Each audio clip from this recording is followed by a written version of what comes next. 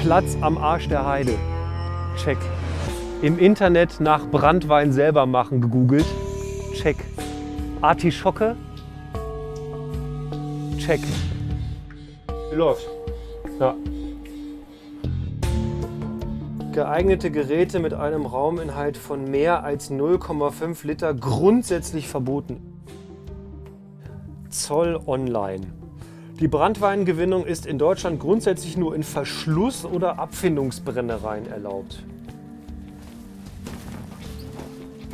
Verschlossen, damit abgefunden.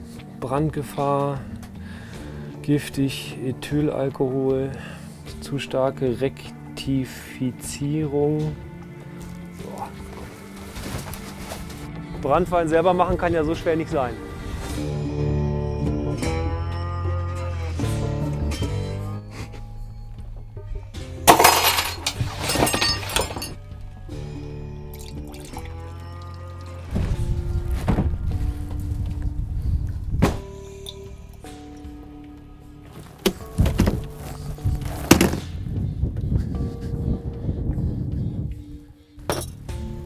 War doch easy.